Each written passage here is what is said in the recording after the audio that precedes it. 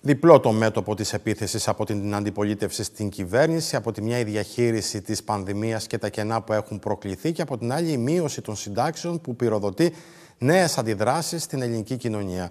Μαζί μας απόψε η βουλευτής του ΣΥΡΙΖΑ, η κυρία Μαρίζα Ξενογιανακοπούλου. Κυρία Ξενογιανακοπούλου, καλησπέρα σας, καλή χρονιά σας εύχομαι.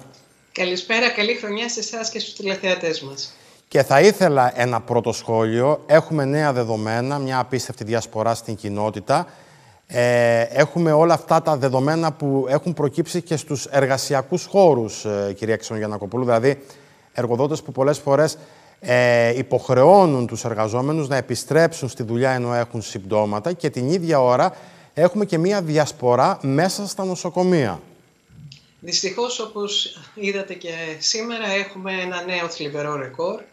Ε, πλέον τα κρούσματα έχουν ξεπεράσει κάθε προηγούμενο, τους 50.000 και έχουμε μία μετανόητη κυβέρνηση, η οποία κάτω από αυτές τις δραματικές συνθήκες που ζούμε όλες τις τελευταίες μέρες, όπου πλέον έχει φανερά χαθεί ο έλεγχος, όχι μόνο δεν αποφασίζει να πάρει μέτρα, αλλά επιμένει στην ίδια αδιέξοδη πολιτική. Και αναφέρομαι αφενός στην ε, εγκληματική απόφαση να μην γίνουν αλλαγές όσον αφορά τα σχολεία, κάτι το οποίο θα το βρούμε μπροστά μας την επόμενη εβδομάδα.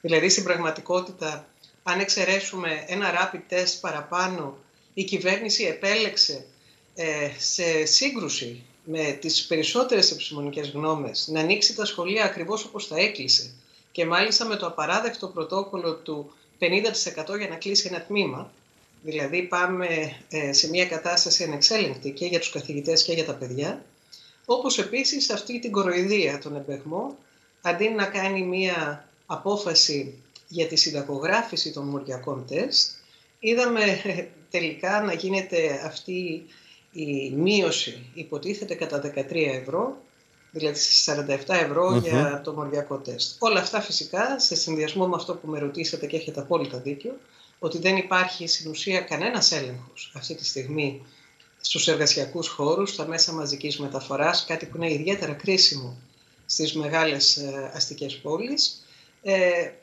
συνηγορούν ότι δεν υπάρχει καμία προστασία ούτε για τους εργαζόμενους, ούτε δυστυχώς συνολικά για την ελληνική κοινωνία. Αν σας ζητούσαν να μου δώσετε έτσι πολύ γρήγορα, βεβαίως είστε το μεράρχης εργασίας και κοινωνικών υποθέσεων, είστε όμως μια πολύ έμπειρη πολιτικός, ε, να μου πείτε τι θα πρότεινε ο ΣΥΡΙΖΑ στο άνοιγμα των σχολείων που αυτή την περίοδο καίει και καίει δικαίως όταν έχουμε μια τεράστια διασπορά, όταν οι ενήλικες δεν μπορούμε πολλές φορές να τηρήσουμε αυτά τα μέτρα, πόσο μάλλον να το κάνουν μικρά παιδιά.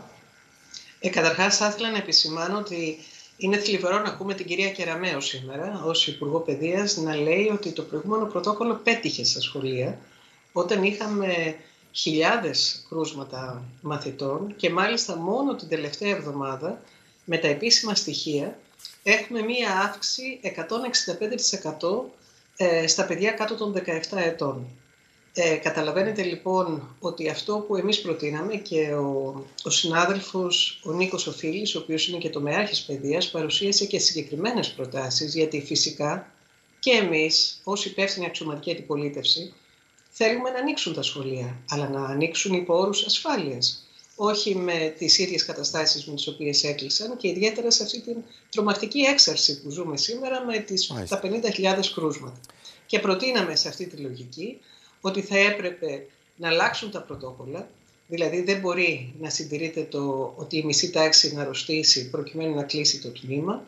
Θα έπρεπε να ακουστούν οι επιστήμονες, γιατί αυτό που αποκαλύφθηκε ε, με επίσημη δήλωση ενός από τους επιστήμονες του κ. Παναγιωτόπουλου είναι ότι το 50 συν 1 δεν το πρότεινε ποτέ η Επιτροπή των Δημοσιολόγων. Ήταν μια πολιτική απόφαση της Υπουργού Παιδείας να μειωθούν οι μαθητές στα τμήματα, να υπάρχει ευρύτατη ε, ιχνηλάτηση με τεστ και τη δυνατότητα και μοριακών τεστ και φυσικά να υπάρχει και η δυνατότητα να υπάρξουν ενισχυμένες μάσκες για όλη την εκπαιδευτική κοινότητα. Γιατί καταλαβαίνετε ότι αυτό είναι ένα μείζον θέμα.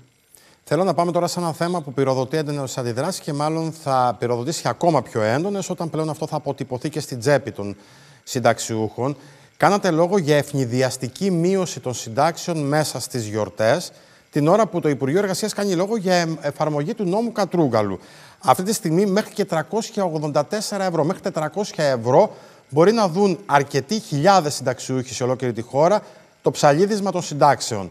Θεωρείτε, ότι, θεωρείτε ότι εδώ η κυβέρνηση προσπαθεί μέσα από αυτή τη δίνη της πανδημίας να περάσει και αυτό το μέτρο; Ε, είναι φανερό. Ε, καταρχάς, ε, δεν είναι τυχαίο ότι επέλεξε ο κύριος Τσακλόγλου να ε, εκδώσει αυτή την εγκύκλιο προπαραμονή βράδυ, κυριολεκτικά στα μουλοχτά, δηλαδή για να περάσει χωρίς καν ε, να ενημερωθεί ο κόσμος, οι συνταξιούχοι, τα μέσα μαζικής ενημέρωσης. Ε, και βέβαια επιστρατεύει ο κύριος Χατζηδάκης ένα πολύ μεγάλο ψέμα.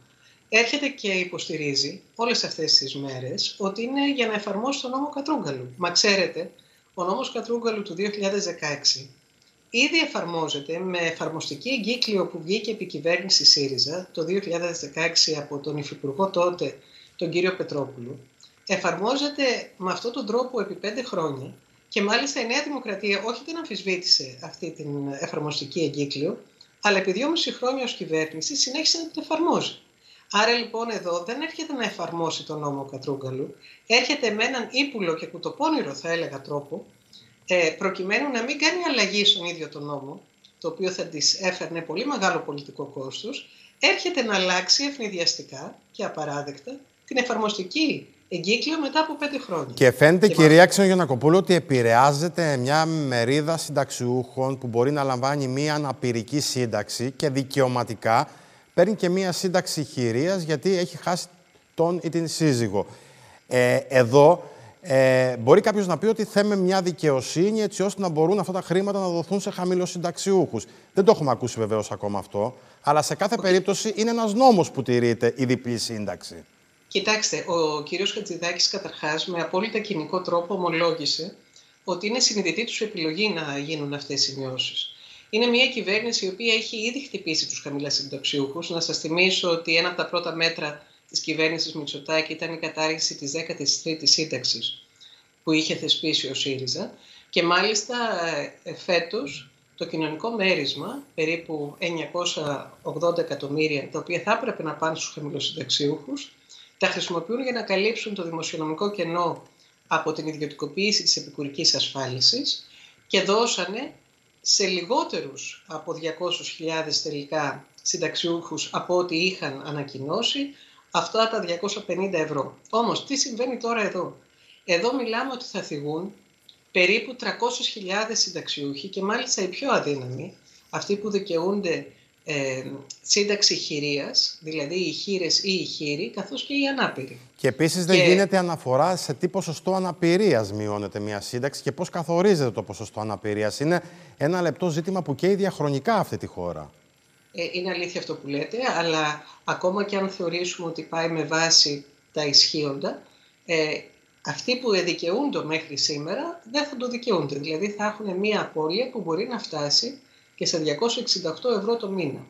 Και στο κρίσιμο ερώτημα, γιατί το κάνει αυτή τη στιγμή η κυβέρνηση Μητσοτάκη, γιατί έρχεται να αλλάξει μία εγκύκλιο εφαρμοστική η οποία λειτουργεί επί πέντε χρόνια, η απάντηση είναι σαφής.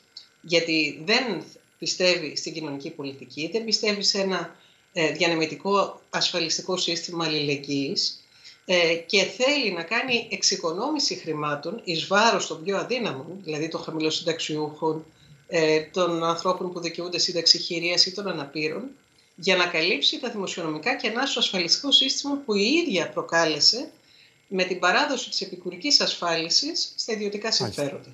Άρα έχουμε μία βίαιη αναδιανομή και θέλω έτσι να το τονίσω αυτό γιατί είναι τραγικό, ε, εις βάρος των ε, αδύναμων, των πιο αδύναμων στρωμάτων των συνταξιούχων, όπως και συνολικά η πολιτική Μητσοτάκη είναι εις βάρος της κοινωνικής πλειοψηφίας, αλλά υπέρ πάντα των μεγάλων συμφερόντων που εκεί βρίσκονται χρήματα. Κάτι αντίστοιχο με την υγεία, όπου κόβονται τα 800 εκατομμύρια ευρώ για την υγεία μέσω πανδημίας, αλλά κατά τα άλλα δεν επηρεάζεται στο παραμικρό ο ιδιωτικός τομέας της υγείας. Εμείς από τη μεριά μας, όχι απλώς καταγγέλουμε αυτή την αυθαίρετη εγκύκλιο και απαράδεκτη του κ. Τσακλόγλου, ζητάμε να αποσυρθεί και είναι ένα θέμα το οποίο φυσικά και θα το σηκώσουμε και στη Βουλή την επόμενη εβδομάδα όταν ανοίξει η Βουλή. Μάλιστα. Κυρία Ξενογεννακοπούλου, σας ευχαριστώ πολύ για την συζήτηση. Καλό σας βράδυ. Και εγώ σας ευχαριστώ. Να είστε καλά, καλή συνέχεια. Να είστε καλά.